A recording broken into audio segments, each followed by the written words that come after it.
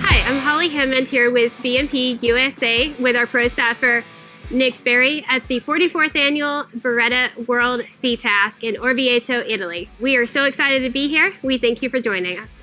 Good morning, everyone. Happy to be here and, you know, welcomed perfectly as always by B&P. So, Nick, what was the first competition that you ever competed in?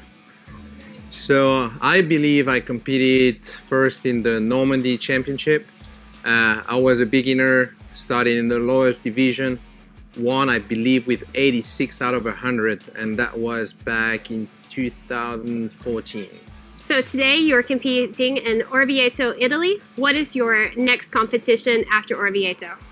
So after Orvieto, uh, I believe we have the North Central Regionals back in the US. Uh, so that's the whole series of regionals and then coming to the national. So that's the championship tour that we have in the US. That's uh, all pretty big competition, not as big as World FITASC though. So when you're not shooting, what are your other hobbies that you enjoy? So uh, right now during winter, when you know shooting slows down, I still practice a lot uh, to try to get ready for the season. But I do a lot of snowboarding uh, with my son and my wife and my kids. So we go a lot uh, in the mountains. Uh, before that, I used to do a lot of rugby. So that's pretty much my hobbies. For new shooters, what would you tell them to help improve their skill set? I'd say that uh, it's good to get like a mentor or a coach to try to go faster than the normal pace, uh, try to skip steps uh, that way, and then you know don't be afraid to go out, compete, practice on you know a lot of different target presentations. Uh, there's kind of uh, a fear of going out, but you need to do that in order to get better. What is the best training for a professional shooter?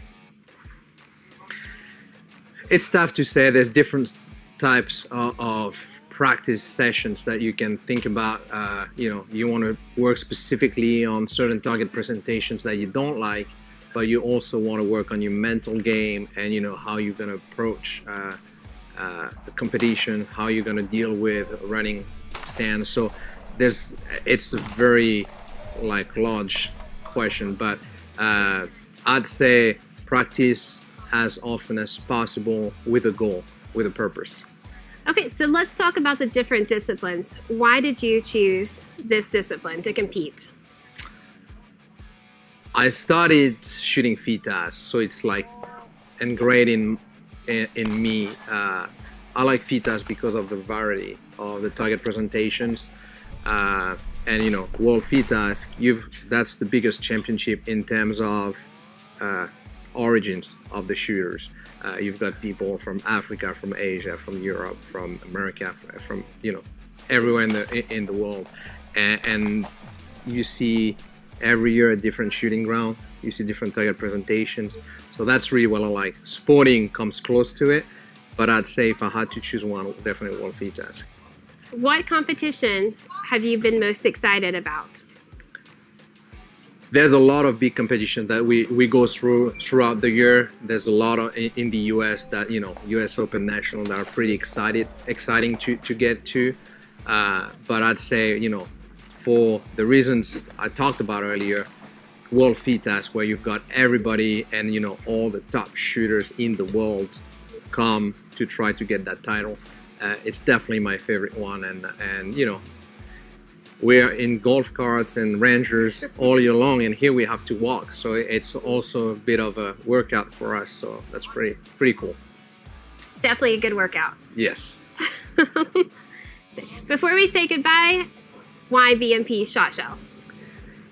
I've got lucky to try different shells. Uh, I started with B&P but you know I haven't found anything that come close in terms of the best balance, the best combo between performance, consistency, and comfort.